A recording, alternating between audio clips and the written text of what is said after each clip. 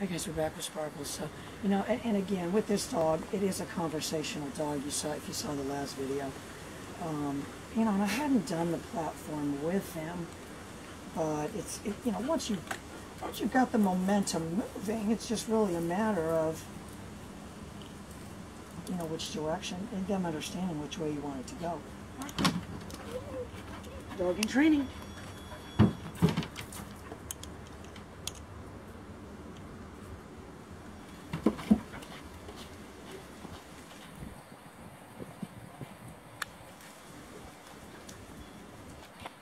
in training.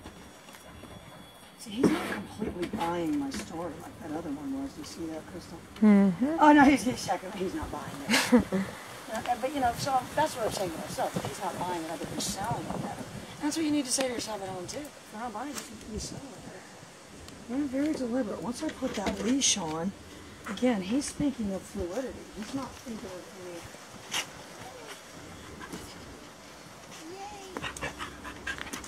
Know, I mean, I'm, I'm over dramatizing my handling if I really want it to be.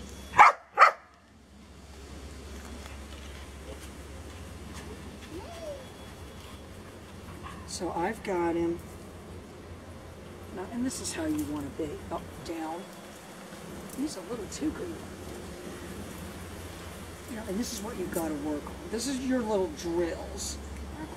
If I want, if I'm going to turn away, I'm kind of showing him the shoulder. You know? I'm making sure he sees it. If I'm going to turn this way, I'm making sure he sees the hand.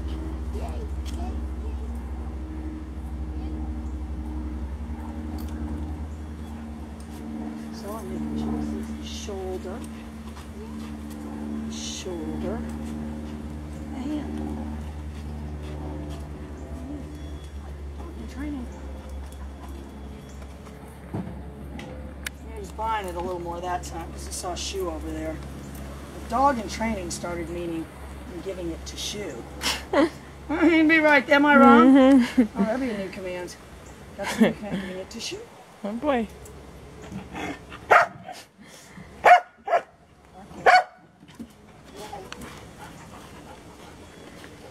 I want a game going backwards. I should have monopolized on that.